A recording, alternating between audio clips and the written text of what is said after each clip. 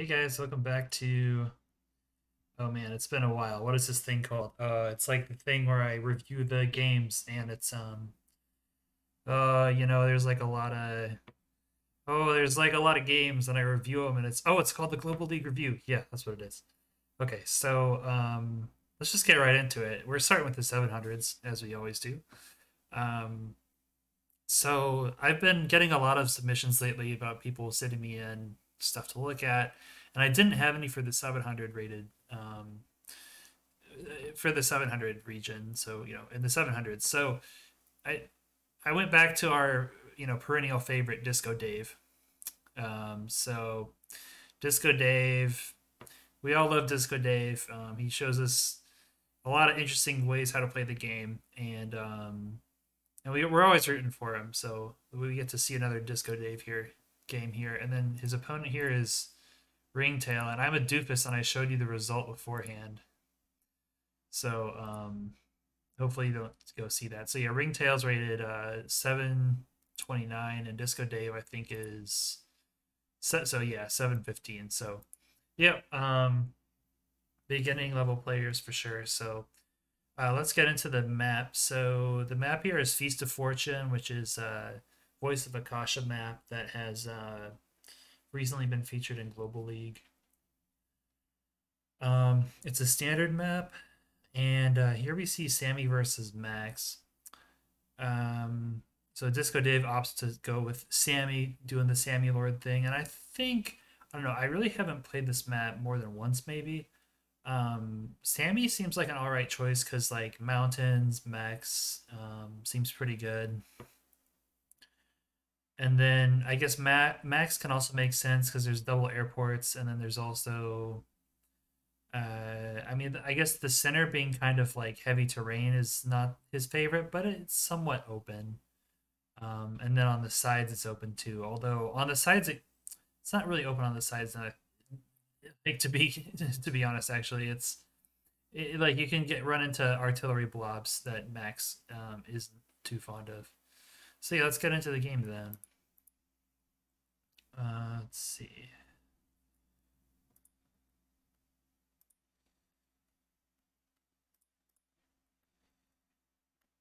Okay, so just a few moves in.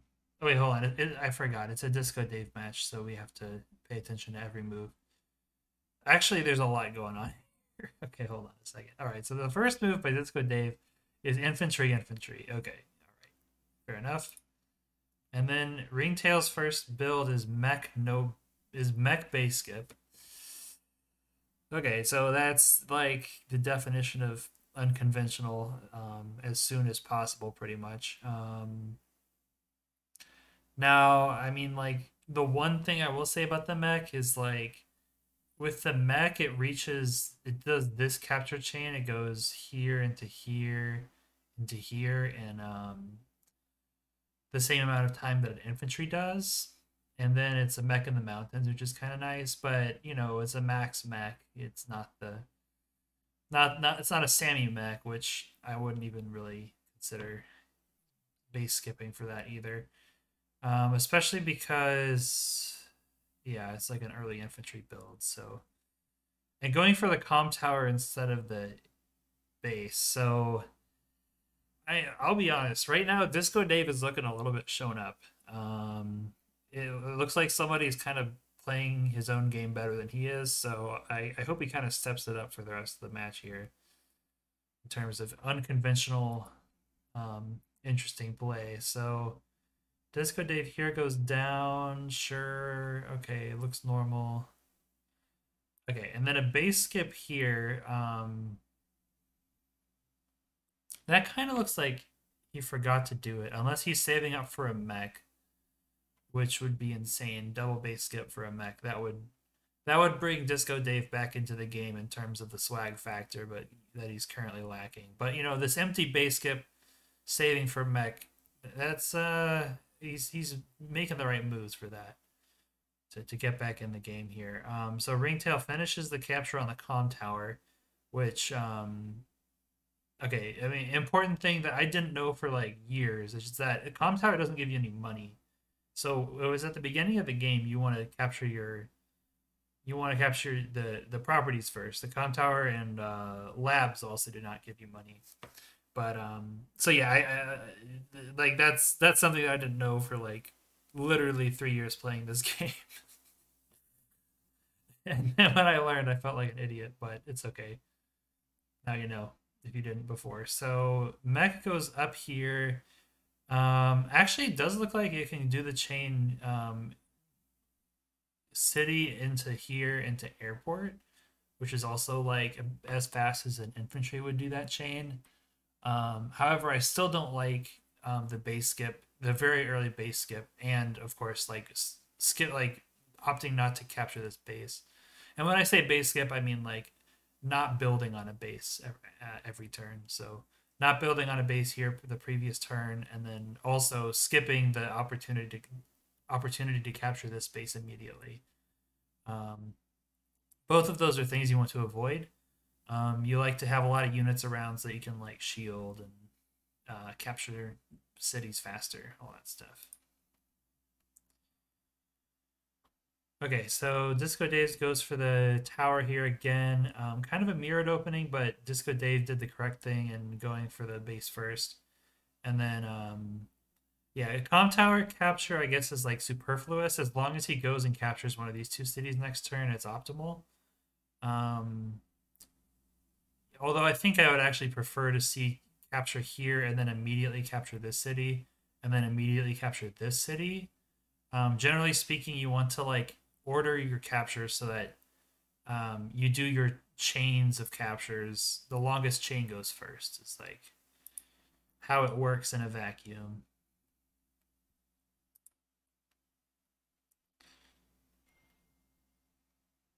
Okay, so some infantry moves here. The mech goes for the property as expected. Okay, so that's a pretty normal looking turn. Which uh yeah, I think we were all a bit surprised about. But um, so you have going back here, going for this airport. Um, okay, uh, good looking moves here. Okay, another good looking turn. Both of them starting to pull it together here. Um, yeah, also good looking turn just like the idea is you take out your you know early infantry go for the properties all that good stuff. Um like as you can see here like he has two infantry capturing these two properties down here. Um if one of them would have started on this chain i think he would be about here. So this one infantry down here probably would have captured these two properties instead of just this one that it's about to capture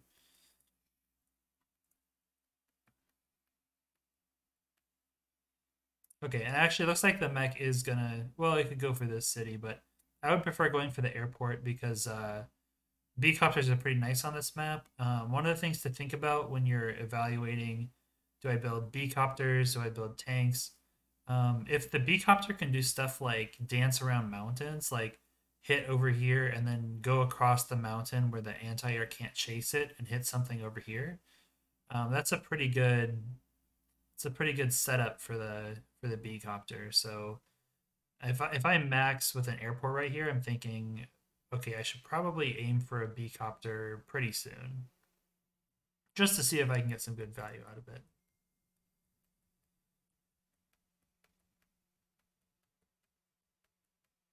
Okay, whoa, Disco Dave. Okay, all right, double recon. So that is really spicy. Um, yeah, that is I mean, it's kind of cool because the edges are really light terrain. So you look at how far the recons can move in each direction. So, yeah, that is like a really interesting move. Um, and it looks like Disco Dave also skipped a lot of a lot of captures along the way in order to get this airport really early. Um, so let me follow this infantry. So that is the first infantry down here, down here, airport, capture, and then do some capturing over there. So it looks like so Disco Dave actually gets his airport as soon as possible Um, and then I think he kind of. Uh, I would say this is kind of like wasting some airport time. Uh, if you're going to rush for an airport in a way that kind of delays your capture game, uh, you want to make sure that you get use out of your having your early airport. So how do you use an airport? You just build stuff out of it. So maybe if you would have done this and then built an immediate um, transport copter, um, that could have been a pretty good option. Instead of a recon, maybe do a T copter here. Um, alternatively, you could have done B copter, but um, yeah, maybe that's good. But I guess as Sami, you probably don't want to play B copter versus B copter versus Max because uh, it just seems like he's gonna win that. All right, so in the meantime, so it looks like the mech is indeed going for the airport, which I really like. And infantry going for the center here. Okay, answering recon with recon. Um, so there's like a term that we use when so he's all he built all of his units and he has seven thousand dollars left over. Advance Wars bucks. Um, there's like a term from StarCraft called like floating money, where you have a lot of money left in your bank after the end of your turn. Um, I think there's no reason this couldn't be like a tank maybe, um, and then like get some presence in the center. Or um, Max could have gone for something kind of cheesy, not cheesy, but like kind of sneaky and unintuitive, and gone for an anti-air. then the anti-air can lock down this airport um, and kind of do all this stuff on the attack stuff on the outer uh, attack, attack these outer cities, and then also, of course, anti-air is a good matchup against recon. So, um, yeah, the anti-air, and then followed up by a tank to deal with the tank that would probably come out from Sami. That seems like a pretty good combo to me. Um, recons, um, I guess the way that I think about recons is like I'll almost I don't think I'll ever build a recon with the purpose of killing other recons. It's more of like a harassing tool. So now it's like harassing e- recon versus harassing recon. So I guess that's okay. Um, but I think that with seven thousand dollars left over, I think it'd be better to go with something more sturdy like a tank so you could like really both shut down the recon and do some solid harassment, or do the anti-air, which does the same thing, just gets countered by a tank.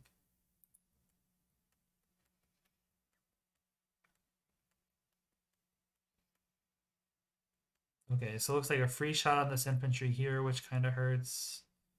Like, it, you know, never give up free shots if you don't have to.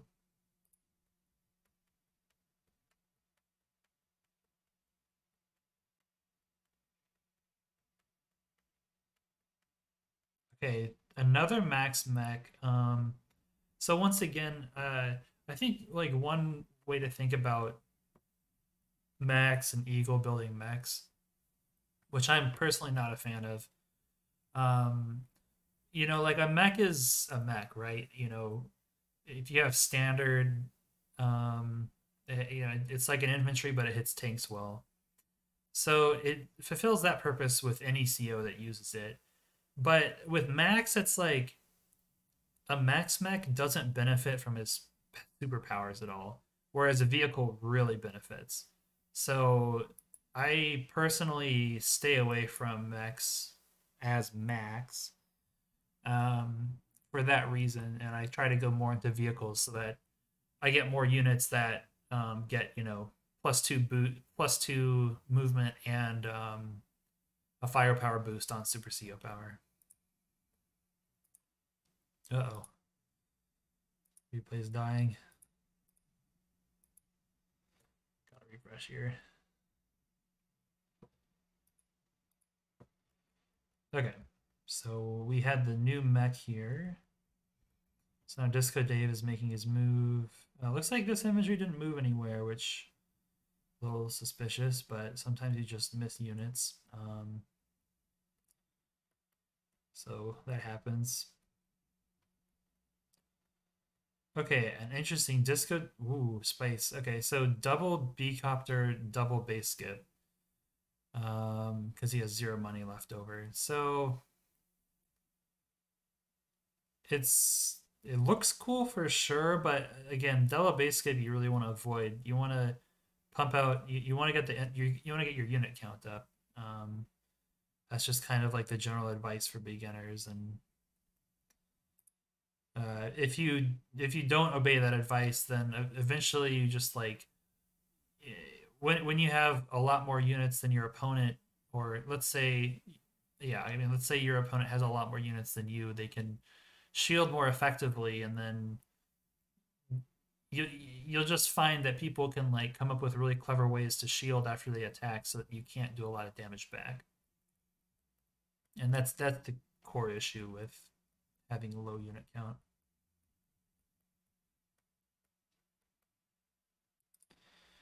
Okay.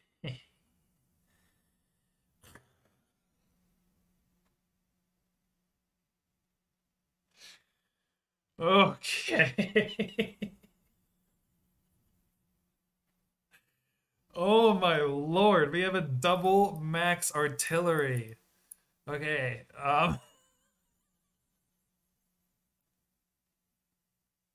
I'm sorry. I'm sorry. I'm sorry. But I've never seen this in my life. Okay, he must not know. He must not know. He must be new to the game and he just doesn't know that max artillery are really bad. So, okay, so normal artillery can fire a square further in every direction. And max artillery are really bad, so they can't do that. So they're like, oh, they're really bad. Yeah. Um, this is like the ultimate meme, like building artillery with max. So either this guy is a meme lord and he like has no fear of losing, or he just is new to the game and doesn't doesn't know the basics. So, but holy moly, I've never seen that before. Okay. Oh, all right. Just gotta breathe through this. Um, yeah, Disco Dave, like in the swag factor, he is in the swag department, he is like sorely lacking. Uh, he's he's not lacking. He's showing some like some unconventional swag, but he's getting out swagged pretty hard right now. Um, yeah, like that is never in my life. Okay, and then Disco Dave with tank tank and a base skip. Uh, of all the things to base skip, like two tanks and then a single base skip isn't so bad because like the two tanks are really valuable usually. Um, so it's not the worst thing to base skip. And then the other thing is like if you look at the unit count, um, unit count is 20 to 16 at the end of Disco Dave's turn. So like it's okay with if he loses a if he base skips here and there. Like it, it doesn't turn out to be that big a factor, but it's just that he doesn't grow his unit count so that it becomes a factor. Like take take the free handouts when you can. So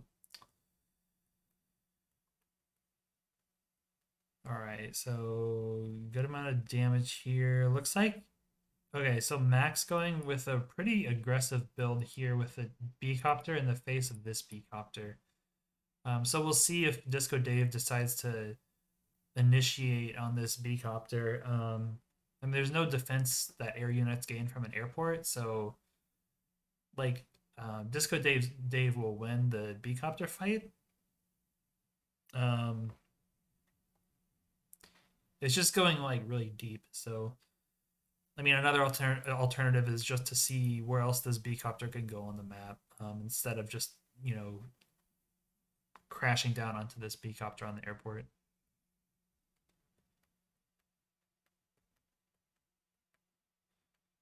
Okay, so this tank is really fearless. Um, it's just attacking an infantry with no backup against the B-copter. So that's a pretty rough look for this tank here. Um, although honestly, it is preventing this capture completely, so it's it's not the craziest thing in the world. Um, just yeah, I guess there's no way for Max to afford two B Beecopters, which he would really kind of like if he can shield them properly. But anyways, this is the move, and then attacking here. I mean, it delays this city for a long time, so maybe it's worth it in the long run. Okay, and indeed, Disco Dave. Um, oh, I see. There was actually shielding here. Oh, I see. I missed that. Okay, so this B-copter was shielded properly. Um, although I think the recon might kill the mech, but anyways, I think Disco Dave finds the the better move, which is attacking the artillery for free. Um, I mean, I guess it's like it's weakening kind of a useless unit, but it is forcing a repair, which is kind of expensive. Um, so you, I, there's like an argument for attacking the mech and then killing it with the infantry instead. Um, either one seems vaguely okay.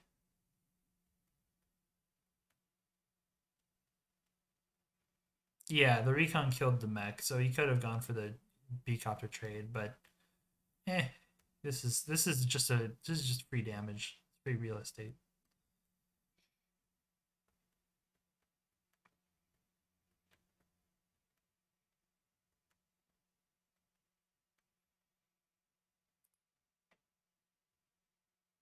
Okay, so attacking, attacking. Okay, going deep with this tank seems like a not the best idea because it still gets hit by the B-copter. Um, it it all, all it does is it delays the airport build for one turn. Um, well, yeah, I don't know. I guess also it forces the B-copter back instead of initiating onto this one. But I don't think Sami wins a nine versus ten HP B-copter fight if the if her opponent is max.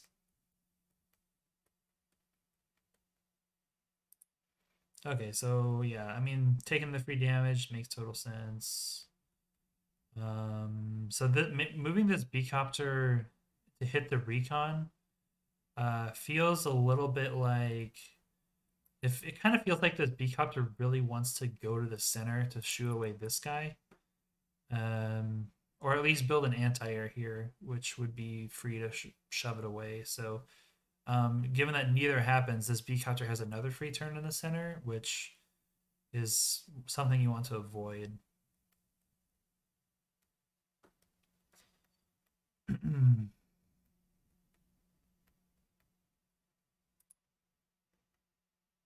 yeah, and then here's even another turn. I mean, I, I totally agree with this recon move to sit on the airport and force the B-copter to go take another turn out of its um out of its lifetime to stay away from the center and like go into the far corner of the map where it doesn't have very much influence.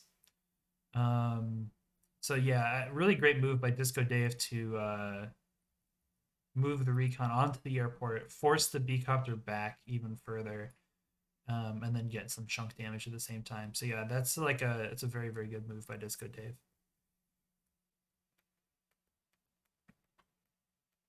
I kind of forgot where he was, so we're just gonna. This looks new. Okay. Okay. Um. Looks like Ringtail had a opportunity. I think that kind of messed it up. Uh, well, anyways, there was some there was some opportunity here for this infantry to go and trap this tank, um, which seems like it would have been a good idea. Um, I guess there's a way to free it. I don't know. I, am like reading too far into it, but yeah, maybe maybe consider moving this infantry over and trapping it, and maybe that'll give you another few free hits on this tank. Oh, okay, never mind. The, the B-copter just dies, um, which is sad for the B-copter. So when we talk, when I was talking about unit count earlier, like this is the kind of stuff you can do. Like right here, this big blob, the B-copter got in, made a free attack within range of the anti-air, and then a bunch of infantry stopped up the walls that the walled up so that the uh, anti-air can no longer hit the uh, B-copter. So when you have more stuff, you can. It's more easy to make formations like this, and just take a non-free hit and turn it into a free hit. Okay, and at this point, Disco Dave's looking like he's in pretty good shape. Um, like by the by the numbers, he has twice the unit value, which is always a good place to be, and is up um, two property, four property, two properties two properties. Um, so yeah, looking like really good shape for Disco Dave. And then like just um, if you look at kind of the board state, um, Disco Dave's strength is that he has a bunch of like a bunch of vehicles in the center that are overwhelming um, max here. Um, and generally speaking, just like having control of the center means that you can pick where you get to engage and you get to move back and forth and like uh, just sort of it's it's easier to seek it's, it's easier to search for new threats. So you just like sniff things out by moving around in the center seeing if you can find a weakness.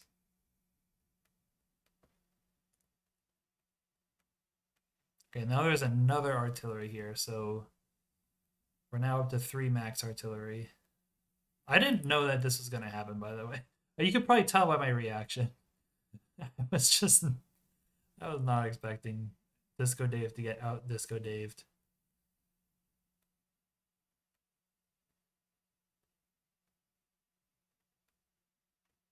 Okay, so yeah, really, really great attack here by Disco Dave. And and like I don't know, as as much as I sort of like joke about this, like Disco Dave really has improved like big time. He's definitely made steps in the right direction. His openings are more conventional in in, in a good way. Um and I think that his tactics, like his his fighting, um, make more sense. Like, there it's getting stronger. That's probably the best way to say it. Okay, so mag super CO power here. Um, just very sad looking artillery. Um, if it was a tank, it could have killed any of these infantry for free.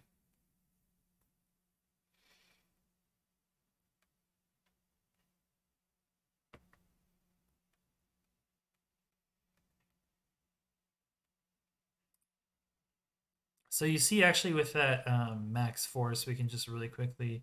So that's a vehicle on vehicle shot, and that's a kill. That's that's good nearly kills nearly one shots a tank with a B copter. So like that's really good. Um, this is pretty good. I, mean, I guess the issue with this is like now a B copter strikes it. Um, but I mean the vehicle shots that Max does this turn are really beneficial. It's just he does not have many vehicles. And then the vehicles that he did have just kind of die as he attacks.